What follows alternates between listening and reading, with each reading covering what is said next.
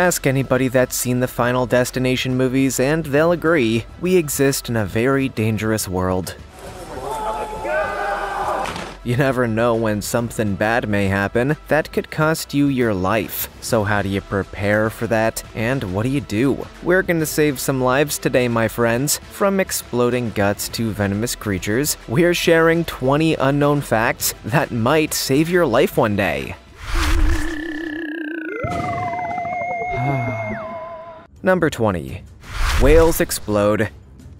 Okay, I'm sure that most of you out there have no desire to touch a dead, decomposing whale, but there's always somebody that wants to do it, so consider this our way of saving a life, or maybe two, from a dead whale. It turns out, they're pretty dangerous even in the afterlife. When a whale dies, it doesn't just stop living, well, I mean, it does just stop living, but as many people have had the misfortune to find out, the insides of the whale keep moving, but not in the way you might be expecting. After the death of a whale, the body begins generating all manner of gases inside. When those gases start to mix and grow too strong, the body will explode in a most dramatic and honestly pretty gory fashion. It's not pleasant to watch, and it's even worse to experience in person. I mean, honestly, can you imagine how bad that smells? Here's the thing a decomposing whale is a little bit like the game Buckaroo. You know that at some point the thing will just spring into action and throw everything everywhere, but you never really know when that's going to happen.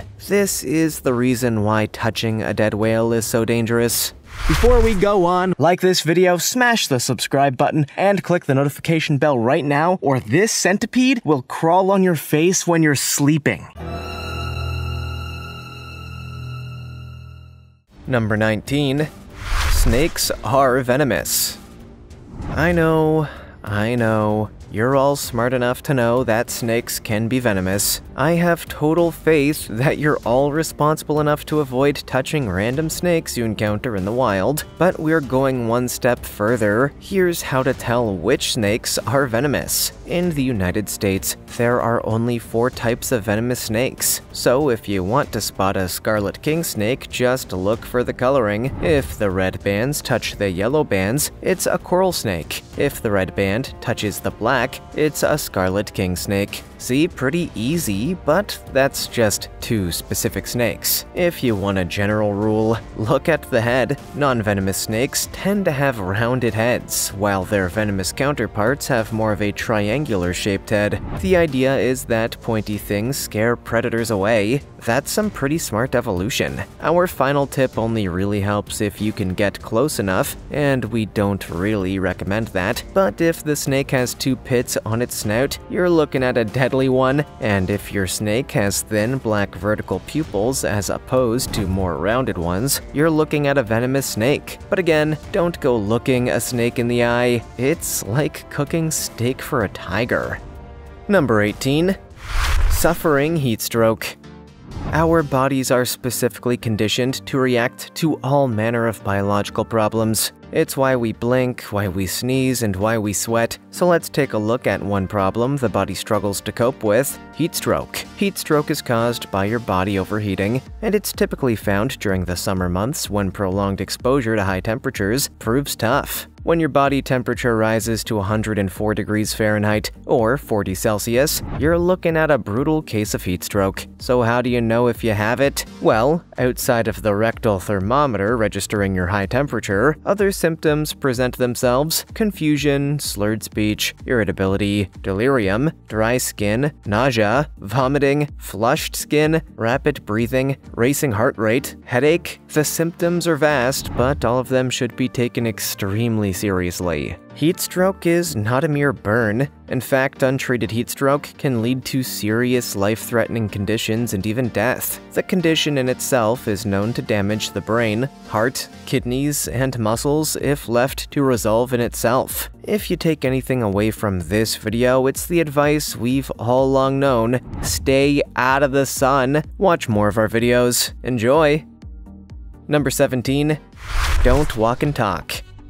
Okay, you can walk and talk. I mean, humans have been doing that for years, but just uh, don't do it on the phone, you know? It becomes surprisingly common for young people to injure themselves because they are busy using their phones. Very common, in fact. In 2010, it was estimated that around 1,500 people had to be treated in the emergency room for injuries they received while walking and using their phones at the same time. That's around double what the figure was in 2005, and it's also only the injuries that led to the emergency room. Now just imagine how high the number is today, and factor in the ones that weren't reported. Yep, we're talking some big numbers here, people. Young people in particular are susceptible to this, believing they can both walk and text at the same time. But according to studies, around 44% of those injured were injured at a crosswalk. The irony? They got their injuries when the walk light was on. Even with all the odds in their favor, they still ended up going to the emergency room because they weren't paying attention to the world around them. Take the lesson, folks. Put the phone down. Number 16. How to use a life vest. Hopefully, most of us won't have to actually use this bit of knowledge, but it's still very good to know how to use a life vest. Every time we fly, we're told how the whole thing works, but do any of us remember it? Eh, probably not. Obviously, the process will vary depending on the circumstance and the manufacturer of the life vest, but it all basically works the same way. You put the vest on over your head, secure the straps around your waist, pull them tight, and inflate the vest by pulling the cord. If you can remember that, congratulations! You're now prepared for the worst possible scenario, and again, we sincerely hope that nobody watching this video ever has to use this bit of knowledge. But hey, we may have just saved your future life. So, good and bad, right? We should also add that you should wait until you've safely evacuated before inflating your life jacket. If you were to inflate the jacket before evacuating, the rising water may just push you against the roof and prevent you from escaping. And of course, you can add more air to your life vest by blowing air into the tube if needed. Seriously, guys, remember this tip. Number 15. Avoid blind spots. As we all know, driving can be very dangerous if done incorrectly, and one of the biggest problems in driving blind spots. Every driver and every vehicle has a blind spot in some form or another, and there are solutions some more high-tech than others. While most new cars come with elaborate blind spot detection systems in the form of cameras or radar, every driver knows that the old-school system still works. What is that system? Adjust your mirrors! Yeah, that's it. All you have to do is adjust your mirrors to ensure that you have a decent view of every single possible angle, because if the news has taught us anything, it's that blind spots cause some serious accidents. Even if you manage to get out of the incident unscathed, your car will be pretty damaged. Sorry to be the one to break it to you. Correctly adjusting your car's mirrors can be a true lifesaver, and I mean a life saver. It may be something that you have to get used to, but once you are, you can guarantee that you'll be less likely to get into a serious accident, life threatening or not. Number 14. Carry a flashlight.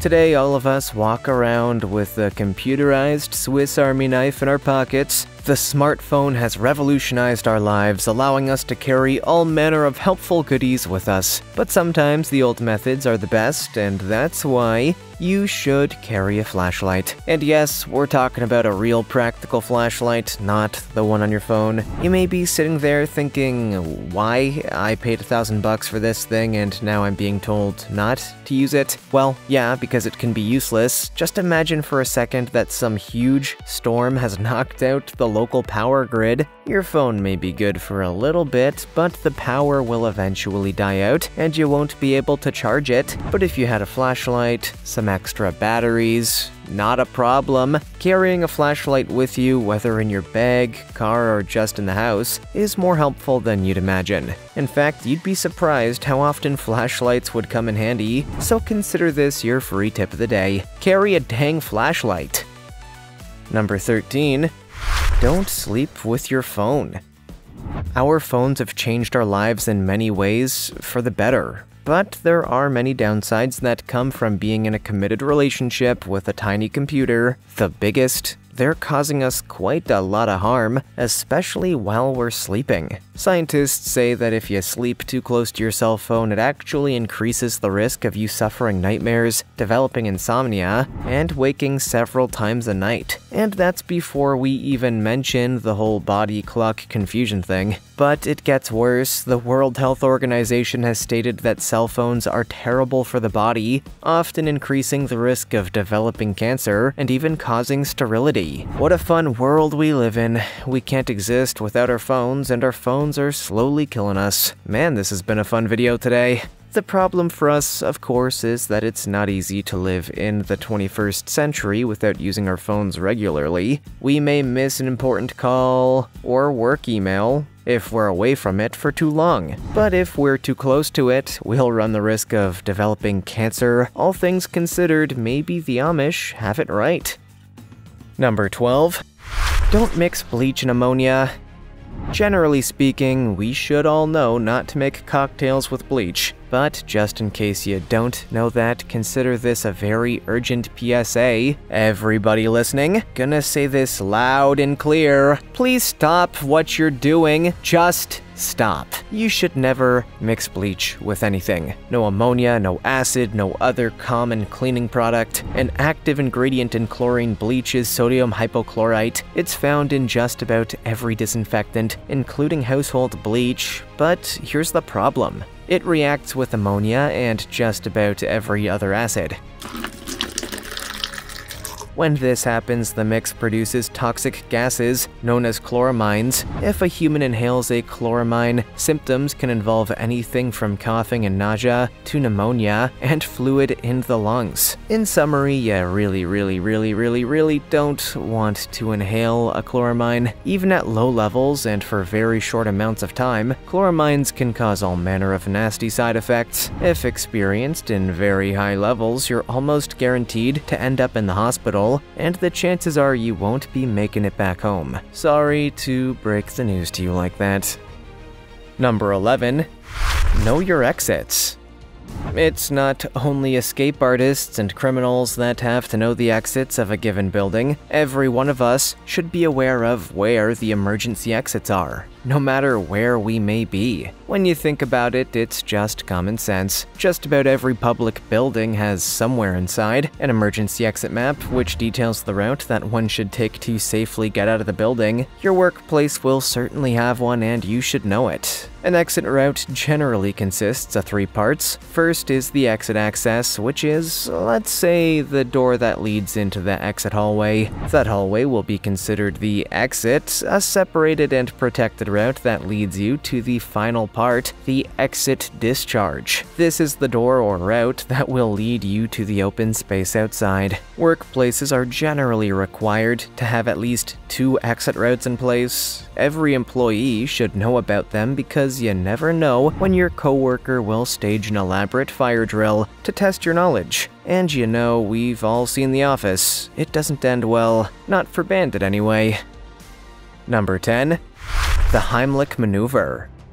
We've talked a lot about the Heimlich maneuver on this channel. It's generally considered one of the most invaluable and helpful skills any human can learn because it's one of the most usable. People don't chew their food, now you can be a hero. I don't have the statistics on this, but I think it's pretty safe to assume that the Heimlich has saved more lives than any of us can comprehend. To do it, it's pretty easy actually. All you have to do is stand behind the choking person, balance yourself well, wrap your arms around the waist, and tip the person slightly forward. From here, you make a fist with one hand, position it just above their navel, grab the fist with the other hand, and press hard into the abdomen with a quick upward thrust. It may help to imagine you're trying to lift the person up in short bursts. Experts advise you to perform between 6 and 10 of these thrusts until the blockage is eventually dislodged. If, of course, there's some kind of problem and the person falls unconscious, you should perform CPR and contact the emergency services. Now you're officially prepared to be a hero. Number 9. Getting stranded. We've all seen horror movies. Getting stranded in the middle of nowhere is just not good. In fact, it usually means you're going to end up facing off against some homicidal maniac, so, how can you survive in this kind of situation? Well, here's a solution. The one thing you absolutely should not do walk away from your car. Again, when this happens in horror movies, it usually doesn't end well, but in reality, it also doesn't end well. Often, the car is found first before the dead body is found several miles away, so you want a better idea. If you don't happen to have any flares, grab a spare tire. If you set that tire alight, you have a makeshift emergency emergency signal, the strong black smoke will be seen for miles away, guaranteeing that somebody will see it and come to help you. Generally speaking, you never want to be lost in the middle of nowhere, but we should also acknowledge that being stranded is often not a conscious choice, unless you're odd. Anyway, the point is that the best thing to do when stranded, if you can't call for help, is to burn your tire. It's probably not great for the environment, but the alternative is death. So, what works better for you? Number 8. Calling emergency services. Spare a thought for the emergency service operators. Those guys work their butts off day in, day out, in some of the most stressful situations, and given that they're doing their best, it might be a good idea if the rest of us tried to help out however we could like calling in the most productive way. When people call the emergency services, they tend to be understandably in panic. Usually their first move is to tell the operator what happened and who was involved. But that's not a great way to start. In fact, the most helpful thing that you can do to get the ball rolling on help is to tell the operator where you are, not why you're calling. If something were to happen that would stop the conversation or the phone got cut off, the operator could send somebody over to check things out. If the patient's condition worsens, it's a good idea to call the ambulance back. But if they only knew the reason for the call, they can't really do anything. The emergency service operators are some of the unsung heroes of our world, so I think we should make their jobs a little easier by getting to the most important stuff as quickly as possible. Help them, help us, as the saying goes. Number 7.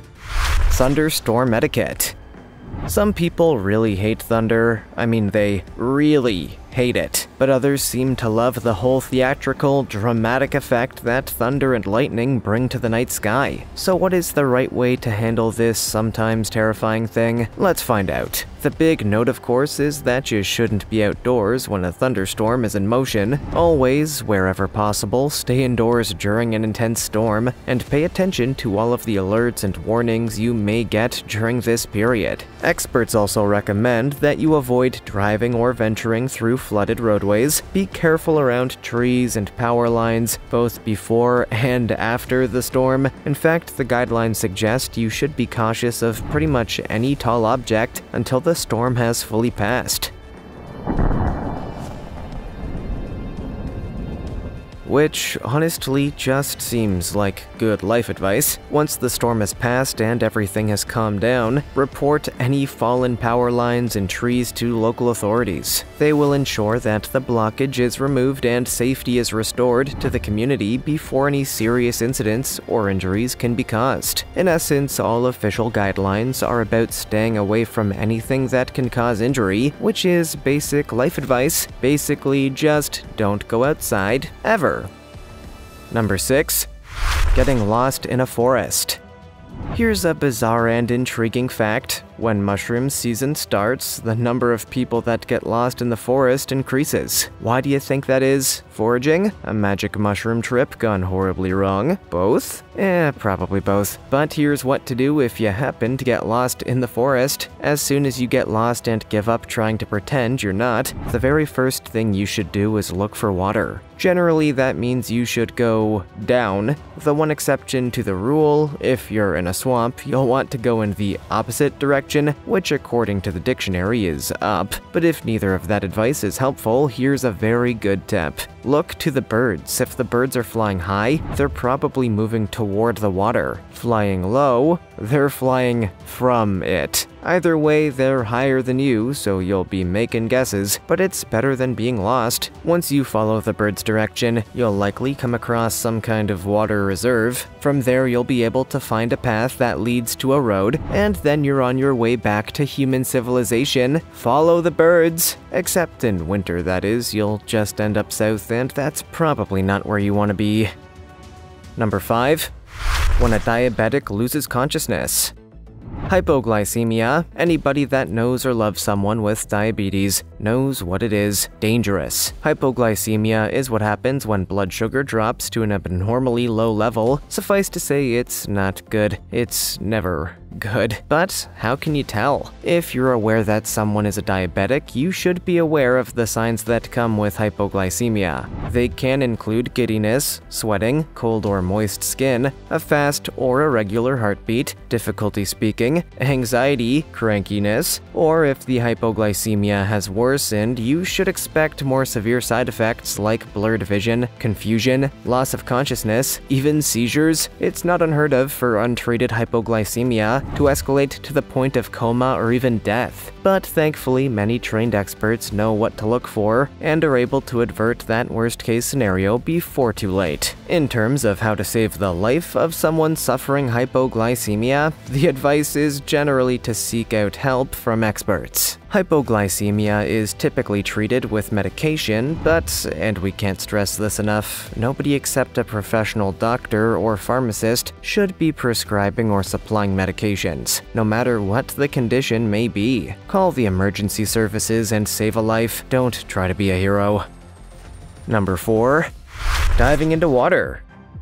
There is a unique pain that comes when water enters the nostrils. It's it's weirdly hard to describe, but it feels like you just stuck a water jet in your brain. Obviously, that's not what's happening here, but how exactly can you dive into water without feeling like you're about to die? We have a secret. The reason water gets into our noses is pretty simple. They are big open holes, but the scientific reason is a little more nuanced. Apparently, it's because of a difference in pressure between our sinuses and the water. If you were to close the sinus cavity, the air pressure would block the water from getting in, or to summarize it another way, it works exactly how you thought it would. But here's a little hack to close the sinus cavity and keep that pressure constant. Okay, you ready? You just press your tongue against the soft palate and make a K sound.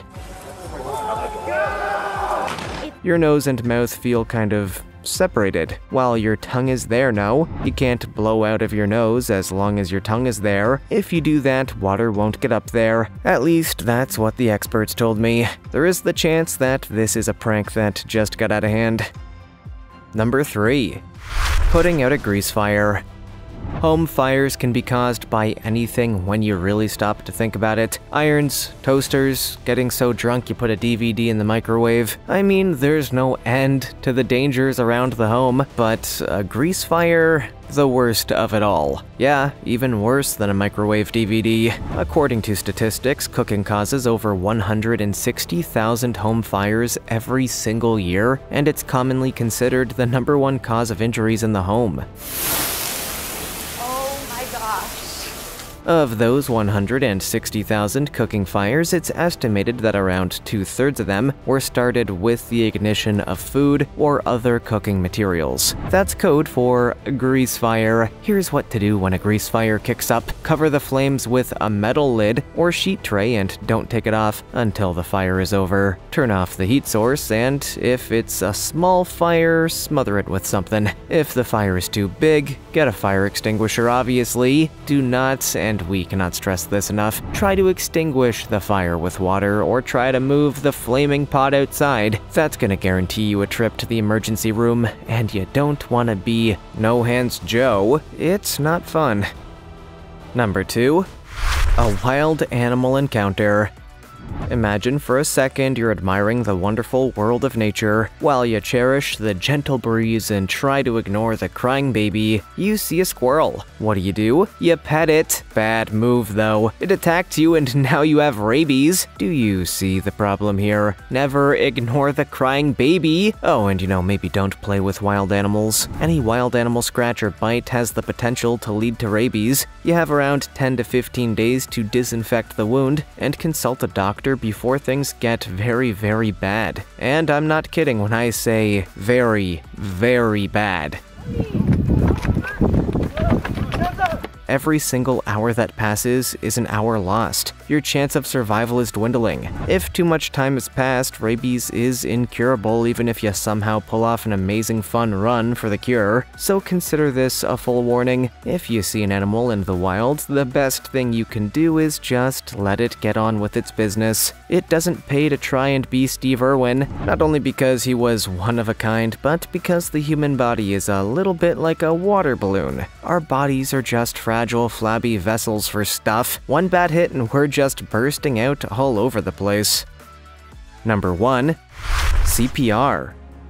The two best skills you can learn, without a doubt, are the Heimlich maneuver and CPR. In fact, if you're a Bee Gees fan, you're probably further along with the CPR training than anybody else. Great news for those raised in the 70s. Everyone else, eh, you can probably get a CPR expert in an Uber. Everybody already knows the basic rules of CPR hard and fast chest compressions on the person who's unconscious, preferably to the beat of the Bee Gees classic Stayin' Alive, a song which was definitely selected based on its title, but there's another rule, possibly the most important of all. If you've performed CPR and the person just isn't coming to, and the ambulance is on the way, don't stop with the compressions. The point of CPR isn't necessarily about getting the person back to life, it's about preserving the flow of oxygen to the brain until the professionals arrive. If you were to simply stop or give up, the person would have no chance of survival, the brain simply wouldn't get enough oxygen. So if you ever find yourself in a CPR situation, keep pumping until help finally arrives. It may be the only way to save someone's life. Have you ever saved a life? Let us know in the comments. Also, check out our other cool stuff showing up on screen right now. See you next time.